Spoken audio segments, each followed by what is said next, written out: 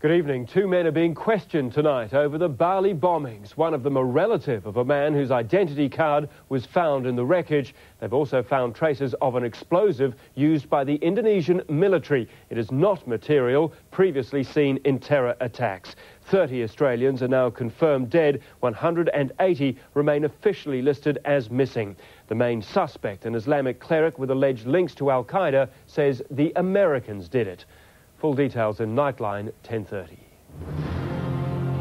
More Australians get their news from Channel 9 than from any other source.